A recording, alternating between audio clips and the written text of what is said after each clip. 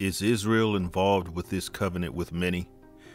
Daniel chapter 9, verses 24 through 27 is a very important prophetic passage of Scripture. It covers a span of time leading up to the Messiah, the fact that he died, the reason why he died, and sometime afterwards, we note that the Second Temple and the city of Jerusalem would be destroyed.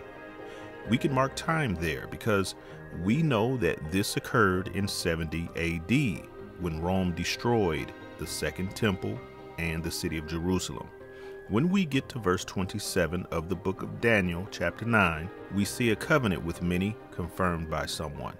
It has been asked, Who are the many, and does it have anything to do with Israel? At this point in time, we do not know who the many are until this event is revealed, but we can ascertain that Israel is involved with the many. And how can we come to this? In context, in Daniel chapter 9, Daniel is praying. Throughout, we can see references to the Jewish people, Judah, Israel, references to the temple and the city of Jerusalem. As we review this in context, we will see that with the covenant with many for the 70th week, it will involve the same the people, the temple, and the city of Jerusalem. Let's go to Daniel chapter 9, verse 7, where we see this to the men of Judah and to the inhabitants of Jerusalem and unto all Israel. In verse 11, we see, Yea, all Israel have transgressed thy law. We're seeing this as he's praying. In verse 16, Daniel says, O Lord, according to all thy righteousness, I beseech thee, let thine anger and thy fury be turned away from thy city, Jerusalem, thy holy mountain, because for our sins and for the iniquities of our fathers, Jerusalem and thy people are become a reproach to all that are about us. You seeing this?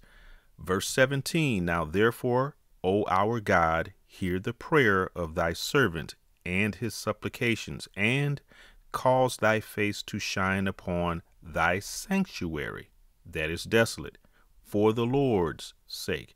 In verse 18, O my God, incline thine ear and hear, open thine eyes and behold our desolations, and the city which is called by thy name, for we do not present our supplications before thee for our righteousness, but for thy great mercies.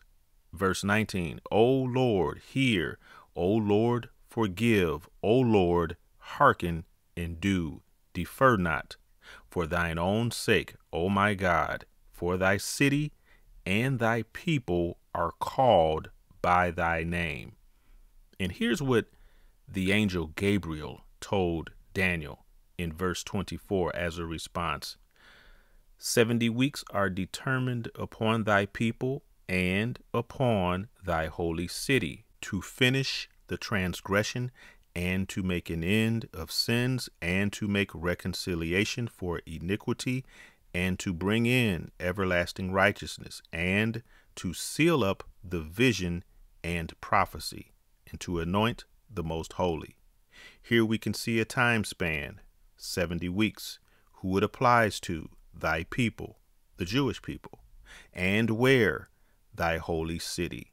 This is certainly Jerusalem, as Daniel stated earlier in the chapter.